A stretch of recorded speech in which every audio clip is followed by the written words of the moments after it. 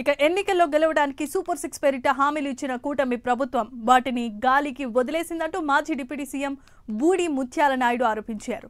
కేవలం పెన్షన్ మాత్రమే పెంచి నాలుగు వేలు చేశారని అన్నారు.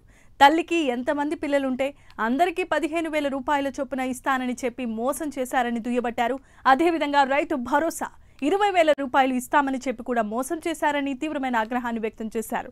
సంపద సృష్టించడం అంటే అప్పులు చేయడం అనేది కూటమి ప్రభుత్వం ఆలోచనగా ఉందని బూడి ముత్యాల నాయుడు ఎద్దేవా చేశారు. హామీలకు తగ్గట్టుగా సూపర్ సిక్స్ పథకాలకి అమలు చేసే విధానానికి తగ్గట్టుగా కేటాయింపులు అనేటువంటిది చేయనే లేదనేటువంటి విషయం మనందరికి కూడా తెలిసినటువంటి విషయమే.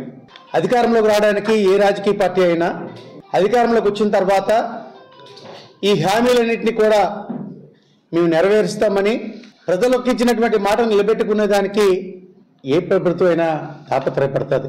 మోసం చేసేటువంటి ఆలోచనతోని అమ్మఒడి పథకాన్ని వైఎస్ఆర్ పార్టీ ప్రభుత్వంలో జగన్మోహన్ రెడ్డి గారు ప్రతి తల్లికి పదిహేను వేల రూపాయలు ఇచ్చేటువంటి కార్యక్రమానికి కాకుండా తల్లికి ఎంతమంది పిల్లలు ఉంటే ఆ పిల్లలందరికీ కూడా అమ్మఒడి పథకాన్ని ప్రతి పిల్లాడికి కూడా పదిహేను వేల రూపాయలు చొప్పున ఇస్తామని చెప్పి సూపర్ సిక్స్లో చెప్పడం ప్రకటన చేయడం జరిగింది. అంతేకాకుండా వైఎస్ఆర్ ప్రభుత్వంలో రైతులకు ఇస్తున్నటువంటి రైతు భరోసా ఏదైతే ఉందో పదమూడు వేల ఐదు వందల రూపాయలు ఇస్తున్నటువంటి ఆ పథకాన్ని ఇరవై వేల రూపాయలకి పెంచి వెంటనే అమలు చేస్తామని చెప్పి రైతులకి హామీ ఇవ్వడం జరిగింది. తీరా అధికారంలోకి వచ్చిన తర్వాత ఈ రోజుకి ఒక్క రూపాయి కూడా రైతు ఖాతాల్లోకి వేసినటువంటి దాఖలాలు కూడా లేవు.